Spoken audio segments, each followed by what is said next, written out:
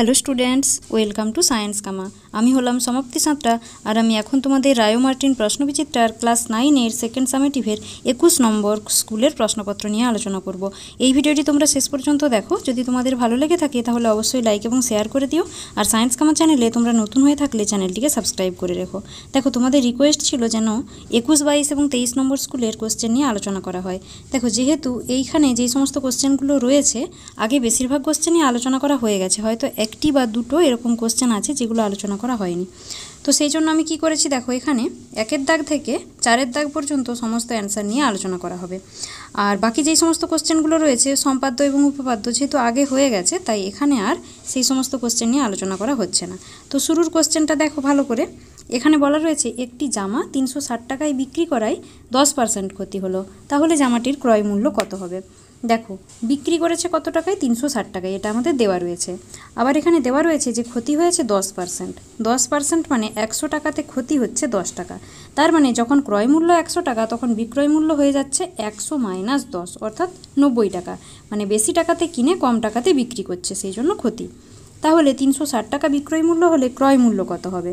দেখো তাহলে ক্রয় মূল্য হয়ে যাবে হান্ড্রেড ইন্টু এখানে কত রয়েছে? তিনশো ষাট, এখানে রয়েছে নব্বই, তাই তিনশো ষাট বাই নব্বই। দেখো কাটাকাটি করে আমরা পেলাম চারশো টাকা, তাই জামাটির ক্রয় মূল্য চারশো টাকা।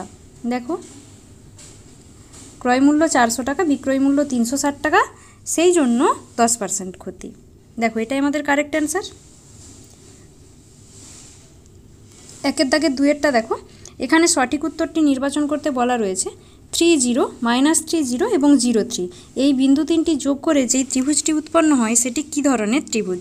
সমবাহু ত্রিভুজ, সমদ্বিবাহু ত্রিভুজ, বিষমবাহু ত্রিভুজ, নাকি সমকোণী সমদ্বিবাহু ত্রিভুজ, সেটি আমাদেরকে চেক করতে হবে।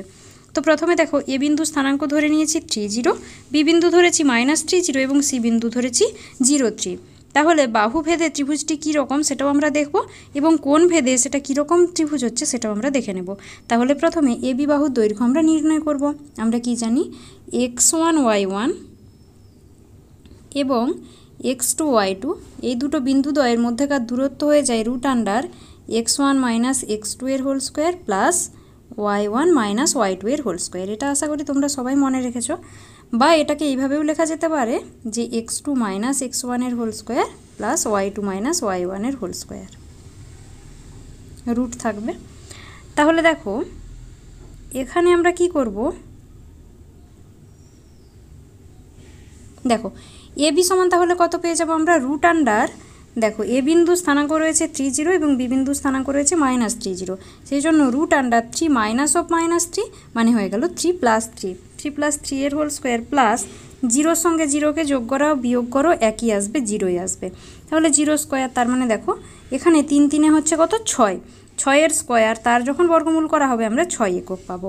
আবার বিসি দেখো, বি বিন্দু রয়েছে মাইনাস থ্রি জিরো সি বিন্দু রয়েছে জিরো থ্রি সেই জন্য বিসি সমান হয়ে যাবে root under minus three minus জিরোর whole square plus zero minus থ্রির হোল স্কোয়ার দেখো এখানে মাইনাস থ্রির হোল স্কোয়ার মানে আসবে কত?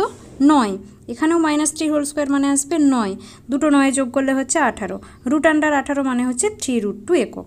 তাহলে সি এ নির্ণয় করতে হবে। দেখো সি এর সঙ্গে এ সি বিন্দু রয়েছে জিরো থ্রি এ বিন্দু রয়েছে থ্রি জিরো তাহলে সি এ হয়ে যাবে রুট আন্ডার জিরো মাইনাস থ্রির whole square plus three minus জিরোর হোল স্কোয়ার তার মানে কত পাবো? আবারও সে আমরা আঠারোই পাবো। রুট আঠারো মানে হয়ে যাবে থ্রি রুট টু একক। তাহলে B C square plus C square যদি করা হয়, বি সি স্কোয়ার মানে কত আসবে? আঠারো। সি স্কোয়ার মানে আসবে আঠারো। তাহলে আঠারোর সঙ্গে আঠারো যোগ করলে পাবো ছত্রিশ। আর এখানে দেখো ছয়ের হোল স্কোয়ার মানে এ, বি এর হোল স্কোয়ার সমানও হচ্ছে ছত্রিশ। তাহলে লম্ব স্কোয়ার প্লাস ভূমি স্কোয়ার সমান অতিভুজ স্কোয়ার যখন হয়, তখন পিথাগোরাসের উপপাদ্য অনুযায়ী আমরা বলতে পারি ত্রিভুজটি হয়ে যায় সমকোণী ত্রিভুজ। এবার দেখো, যেহেতু দুটো বাহু এখানে সমান রয়েছে, অর্থাৎ বিসি এবং সি এ সমান রয়েছে সেই জন্য ত্রিভুজটি হয়ে যাবে সমদ্বিবাহু ত্রিভুজ। অর্থাৎ কোন ভেদে সমকোণী বাহু ভেদে হলো সমদ্বিবাহু সেই জন্য উৎপন্ন ত্রিভুজটি হয়ে গেল সমকোণী সমদ্বিবাহু ত্রিভুজ, যেটা রয়েছে অপশান ডিতে সেটা হয়ে যাবে আমাদের কারেক্ট অ্যান্সার দেখে নাও।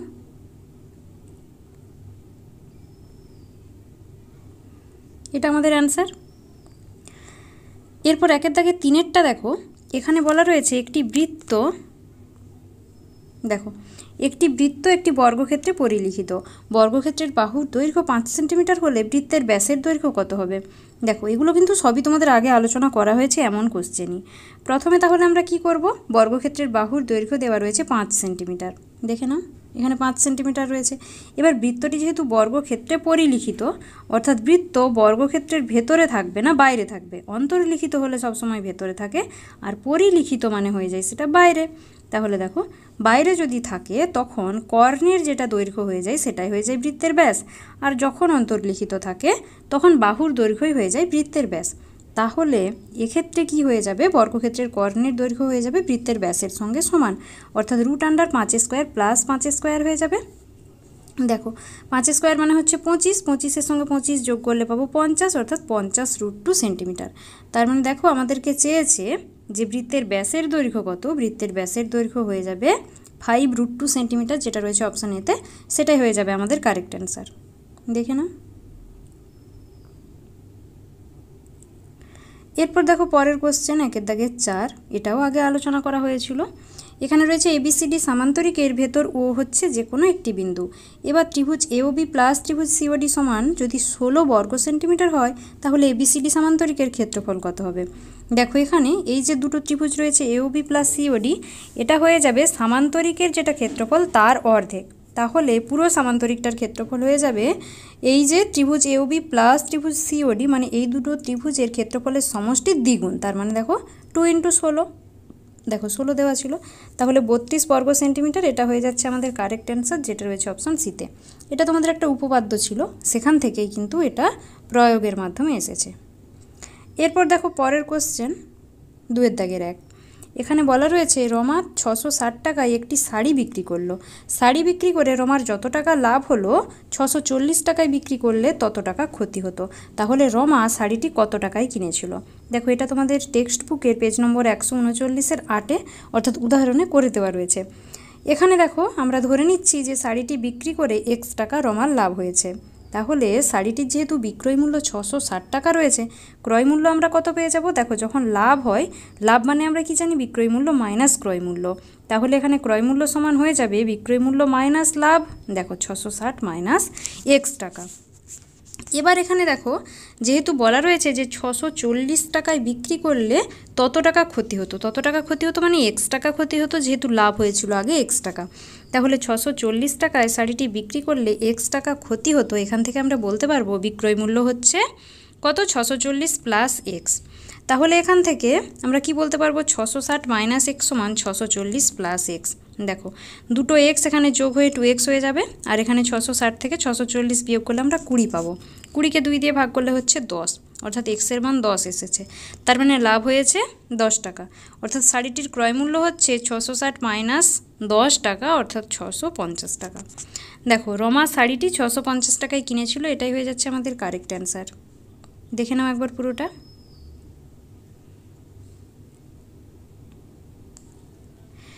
এরপর দেখো পরের কোশ্চেন দুয়ের দাগের দুই।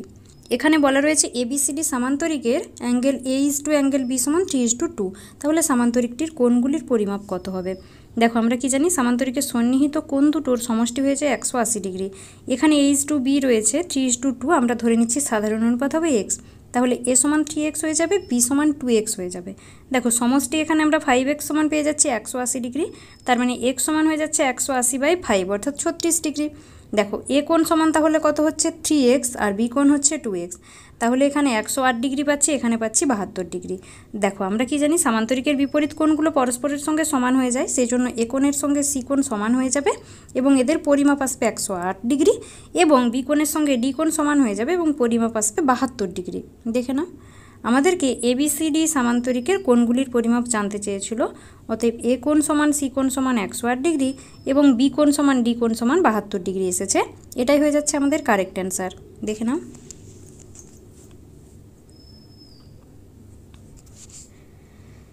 এরপর দেখো পরের কোশ্চেন দুয়ের দাগের তিন। এখানে বলা রয়েছে মূলবিন্দু থেকে মাইনাস ফোর কমা ওয়াই বিন্দুর দূরত্ব যদি পাঁচ একক হয়, তাহলে ওয়াইয়ের মান কত হবে?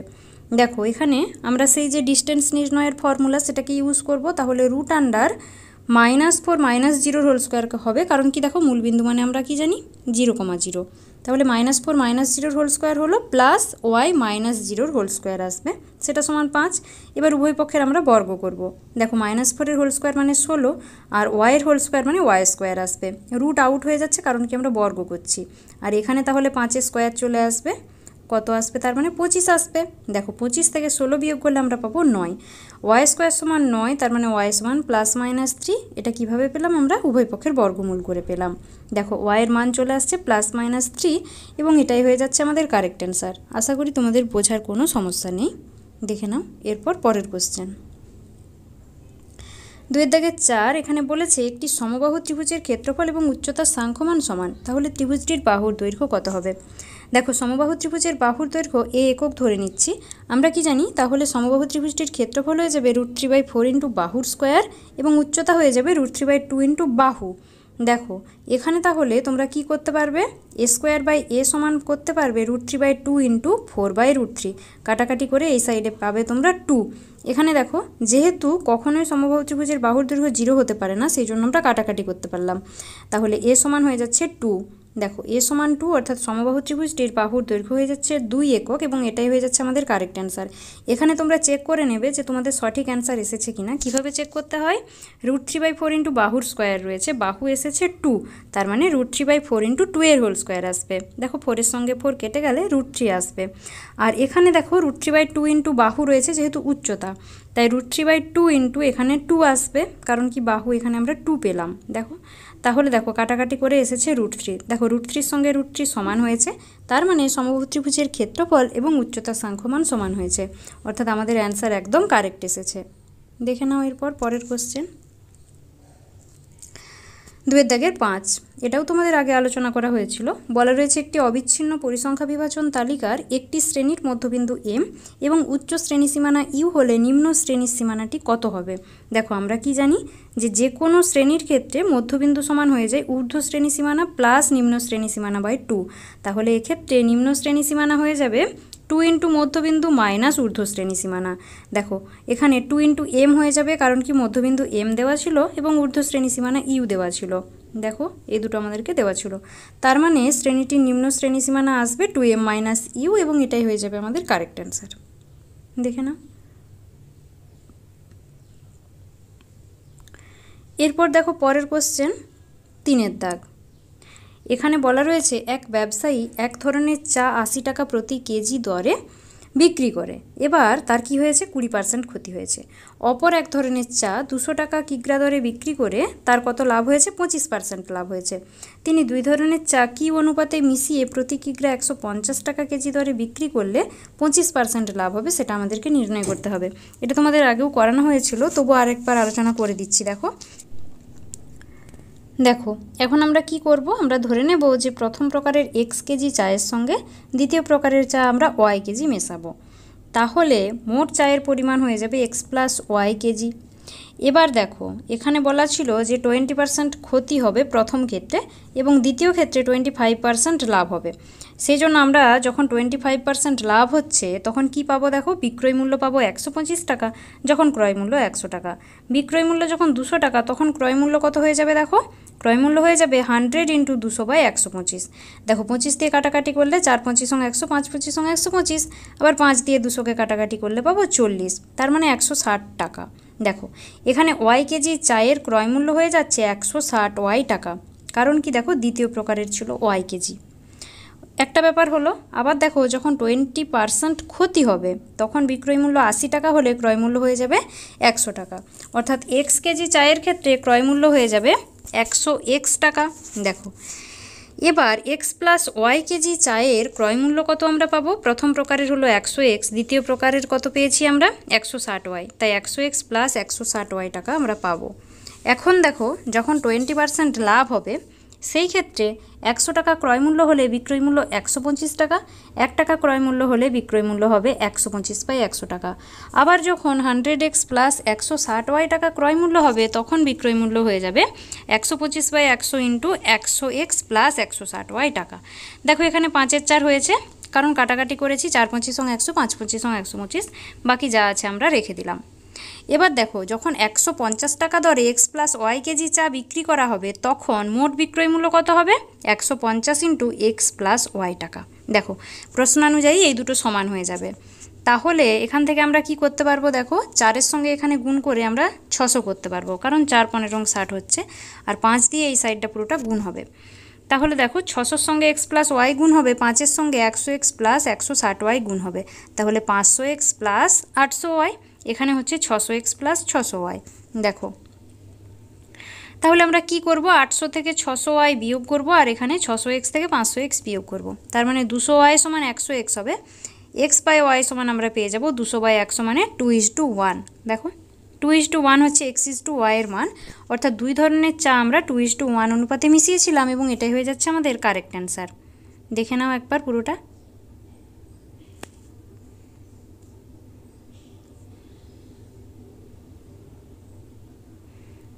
এরপর দেখো চারের দাগের কোশ্চেন এখানে বলা রয়েছে সমাধান করতে হবে two by x plus five by y সমান ওয়ান রয়েছে আর three by x plus two by y সমান উনিশ বাই কুড়ি রয়েছে। এটাও কিন্তু তোমাদের আগে আলোচনা করা হয়েছিল।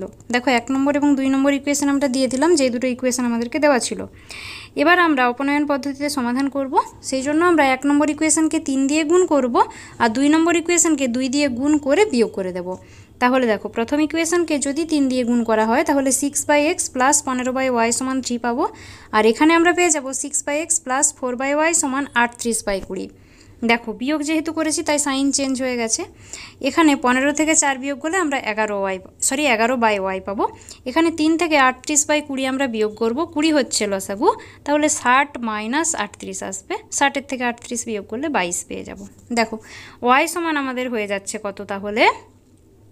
কুড়ি ইন্টু এগারো বাই বাইশ, কাটাকাটি করলে আমরা পাচ্ছি দশ। ওয়াইয়ের মান হয়ে গেছে দশ, এবার এক নম্বর বা দুই নম্বর যে কোনো একটি ইকুয়েশানে ওয়াইয়ের মান বসাতে হবে। যদি এক নম্বর ইকুয়েশনে বসানো হয়, তাহলে two by x plus five by ten সমান ওয়ান আসবে। টু বাই এক্স সমান হচ্ছে এক মাইনাস হাফ অর্থাৎ হাফ দেখো এক্সের মান হচ্ছে চার। অতএব নির্ণয় সমাধান এক্স সমান চার এবং ওয়াই সমান দশ, এবং এটাই হয়ে গেল আমাদের কারেক্ট অ্যান্সার দেখে না দেখো এখানে তোমাদের চারের দাগেরটা অবধি তো করালাম। দেখো, পাঁচের দাগ কিন্তু তোমাদের আগে করানো হয়েছে। ছয়ের দাগেরটাও করানো হয়েছে, সাতও আছে, আটও আছে। এখানে দেখো, আটের অথবাও আছে। অনেকবার আলোচনা করা হয়েছে আট এবং আটের অথবা। নয়েরটাও করানো আছে আগে। তাহলে দশের দাগের যেই সম্পাদ্য সেটাও তোমরা পড়ে দেখো, এটাও করানো হয়েছে। দশের দাগের দুয়েরটাও করানো হয়েছে।